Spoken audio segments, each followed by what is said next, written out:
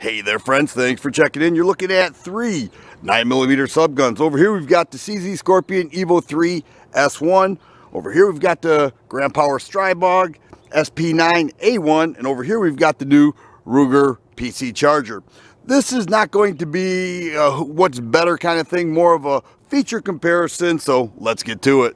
Let's start with the Grand Power Stribog SP9A1. I got my buddy Ken here. Howdy. All right, so we've got the Stribog here. This has been around a couple years. It comes with a, well, what we have here is a 30 round magazine, proprietary with Grand Power, but what does it come with? It comes with a 20 and a 10. Okay, and then it does have an ambidextrous mag release right there. Mm -hmm. Same thing on both sides, lever. You push it in, right there it is serrated. And I'm telling you, this thing is the heaviest of the three. Yeah, it's top heavy. It's, it's, it's definitely it's, top heavy. I can feel it just holding on right, right here. But it does have M-LOK slots on the fore end, 8-inch barrel, uh, one half by 28 threads. And what optic are you running here? That is an ACO.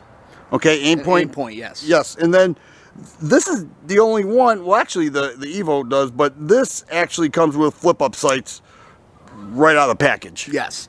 They're, they're a little on the flimsy side, but they work and they are true right out of the box. Okay, well that, that's, that's kind of nice, you know. Uh, ambidextrous thumb safety, and then tell me about this brace. The brace is an SB brace I bought separately. Uh, it's it was available on uh, from Grand Power. I actually got it right from them. And they've these have actually dropped in cost quite a bit since yes, its introduction. Okay, very nice 9mm subgun. The one thing that this has is that, that is not a benefit is a reciprocating charging handle. Yes, it'll it'll bite your thumb. It'll you got to have some thumb uh, discipline on that one. Right, and this was an initial launch, so now they make them without that, and that that applies with this and the Scorpion because they came out with so many different models. We are just featuring what we have to mm -hmm. show. Mm-hmm. But I'm going to put this one down because yeah. pretty darn heavy. Yeah, I'm getting a workout here. How about this new kid on the block? This is your first time checking it out. What do you think? That's beautiful. It's a Ruger PC Charger. It's it's a certainly uh, a little bit. It seems a little bit smaller. It's a nice subgun, much like the Stribog and the Scorpion. So it's it's a little more to the market, and these are right around the same price. At least the MSRP is is pretty. Uh, pretty similar. What do you think about the availability to add Glock mags? Oh, Glock mags are everywhere. They, I mean, you can't you can't swing a dead cat without hitting a Glock. exactly. That's a good way. That's why I bring you on here to come up with stuff like that. All right, so it does have the left side magazine release, 33 rounds. You can add what you want there. It comes also with Ruger mags if you have those. It has the availability to be ambidextrous, but out of the box it's not. It's on the left side. Does have the hand stop right there, aluminum. The advantage here is that this is a takedown model. One of the advantages, and we didn't talk much about the Stribog, but disassembling that, didn't you tell me off camera that that's probably the most difficult out of the three? Oh, that's absolutely the most difficult of the three to take apart. Okay, so so the Stribog disassembly's a little more detailed than the PC Charger and the Scorpion. But what we have here is the already mentioned the Glock mags and Ruger mags. Cross bolt safety instead of a thumb safety. M-LOK slots here six and a half inch barrel. And once again that is one half by 28 threads. Hand stop the takedown model and then the bracelet I have here is an SB Tactical FS 1913 it's got a 1913 uh, rail right here that makes that easy to put on and then just pulling up like that. It'll fold over you haven't shot this yet, but what are your initial thoughts? I love the QD.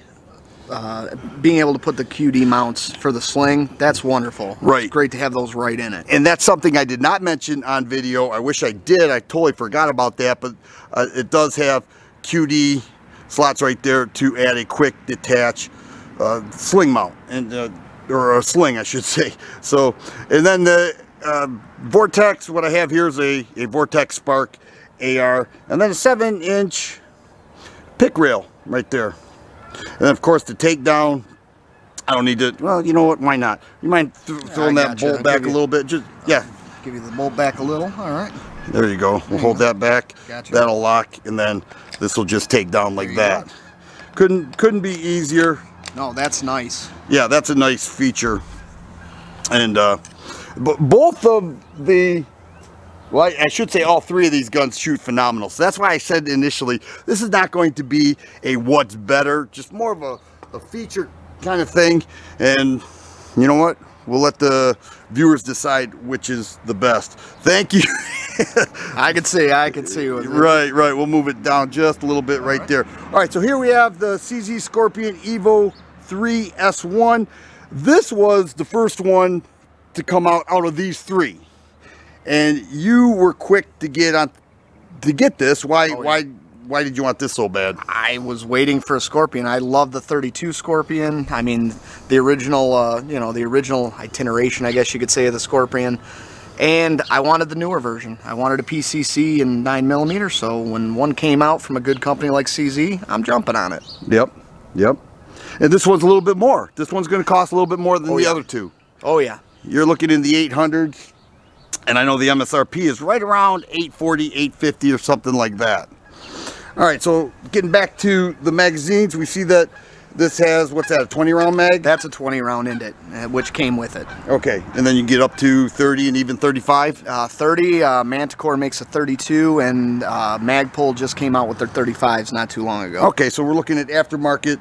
This art has aftermarket support. This has Uh, been around every bit of six, seven, eight years. Yeah. Okay, and then you got an aftermarket. On the other side, safety? yeah, I, I did put an aftermarket. uh, It- Oh, there we go. They all tend to stick into your thumb a little bit. Well, I shouldn't say they all, but the uh, the Stribog and uh, they stuck into your thumb right out of the uh, or. Well, I know that was that was a problem with this initial Mm-hmm. launch is that when you just by shooting it, uh, you'd feel that thing digging into your thumb. Oh, yeah. And so these uh, aftermarket companies recognize that. Okay, you have an AFG here. The, Yeah, what were you gonna say something about that? yeah, I, I, I like it. I, I, I would rather have a hand stop now. I would prefer that, but the way I have it set up now, it's just so comfortable. Yeah, and it's kind of it is a hand stop. Yeah. You know, same Yeah. serves the same purpose. Now, in lieu of the M-LOK slots, these have this has rails all around it. Mm, Which are polymer, polymer rails okay and then you got the charging handle up here yes, which is kind of in the way at the moment, but works pretty well even with that light. yeah. Well if you want a light that's what you're going to have to deal with Yep. right? And then you've got your your sling mounts over here. Well yeah right there. You Yep. got your sling mounts. It's kind of you know i'm looking through the viewfinder of the camera to make sure the thing's centered. And so when i point and everything it makes it a little difficult. But here we're looking at a 7.7 inch barrel. All right and tell me about this brace The SB brace, it's a good brace. I, I I'm really happy with it. I personally prefer the Maxim like a PDW type brace, but that's a great comfortable brace and the rubber keeps it nice and warm, no cold steel on your face. That's always nice. Yeah, that's actually quite a, a big deal. Now, you, we also have a Vortex SPARC AR on the Scorpion. I love the Vortex SPARC. Me too. So you you chose this because this is just a phenomenal optic, and Yes. that's exactly why I. Well, I guess that's why we choose optics because we think you know it's not. It doesn't always boil down to you know if I could save twenty bucks, it's it's something that you want to work and that you can beat on, right? And everybody who's let me hold their firearms knows that I have a case of the dropsies. And sorry guys, I know I've done that. I've dropped that thing already twice and landed on the optic. It didn't even change. I mean, there was no change of impact whatsoever. Great, it's a great optic. Yeah, it is. It is. And what about the sights? Did it come with these? It did come with the sights, which are nice. They they don't they don't snag. You know, they're they're great for that. Um, I, they're easy to easy to move if you'd like to. Uh, nice wide, uh, you know, uh, wide field of vision. You know, you can keep both eyes open. They're good sights out of the box, but they're not flip ups. Right. Okay. All right. Here we have the Stribog again. Tell me what you like about the what what could you tell somebody about the Stribog if they asked you about it? So tell me what you like about it. What is that thing? The overall feel of this gun is it's it's a good gun. It does suffer from the ambidextrous safety. Does dig into your hand. I have not checked to see if there's an aftermarket. It's definitely not out there like uh, CZ's aftermarket support is. Right. It's nice. I, I like that they put the little bit of grip texturing on the uh, magwell because you really don't want to put your thumb in front of that reciprocating charging handle. I know it's only a 9, but it'll still get your attention. Oh yeah. Oh, Oh, yeah. yeah. I think it could break your thumb. Yeah, Or at least come close.